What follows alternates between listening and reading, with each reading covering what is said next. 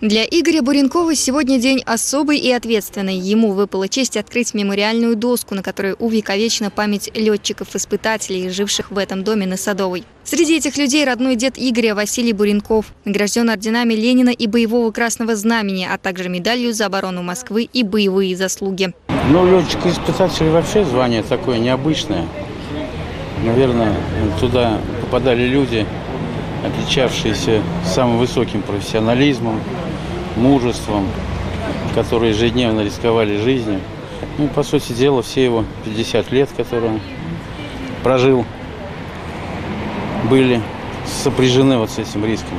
Но очень отрадно то, что мы сегодня увидим, что память еще раз это увековечена, что память остается с нами. Вместе с Игорем Буренковым памятную табличку открыли дочери двух других летчиков – Владимира Комаровского и Дмитрия Чекалина. Зять второго стал инициатором установки мемориала. Владимир Кузнецов – супруг дочери военного летчика Чекалина. В память о любимом тесте полгода собирал документы и мемуары, в которых упоминается фамилия героя. Владимир Евгеньевич рассказывает, тесть не любил говорить о войне. В одиночку играл в преферансы, слушал песню «Журавли». Свой боевой путь летчик начал в 1938-м в Китае. Принимал участие в войне с финнами, воевал на Ленинградском фронте, трижды летал на бомбежке в Кёнигсберг. Герою достоин трех орденов Красного Знамени и столько же Красной Звезды.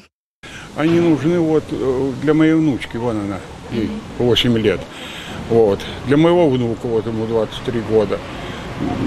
Мы скоро уйдем, и э, это и с собой унесем эту память. А так она вот. Теперь к дому с большой историей, в стенах которого жили герои Советского Союза, будут водить пешие экскурсии для школьников, чтобы память о героических земляках не канула в лету. Мария Левина, Николай Сидоров. События.